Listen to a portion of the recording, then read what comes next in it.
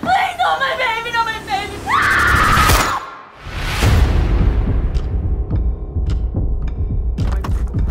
Hello, Mrs. Anderson. Please call me Lauren. Didn't you fight in the war? That was long ago. There's the next house. You get in, you get the stuff I tell you to, and you get out. I'll bring my girl out this time.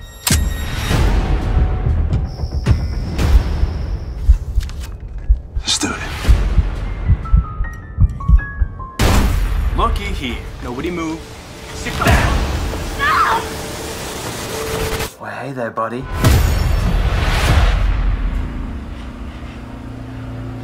Now, why are you running?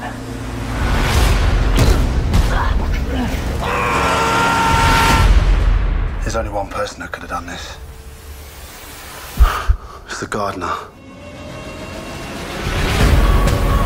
Gardner. He's military. He's a killer. And so are all of you. They've seen my face. They all die. What are you gonna do? Save your family.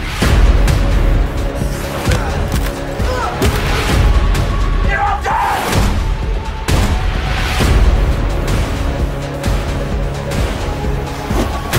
If you want something done properly, do it yourself.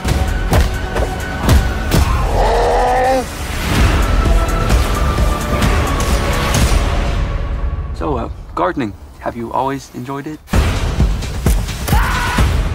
Yes.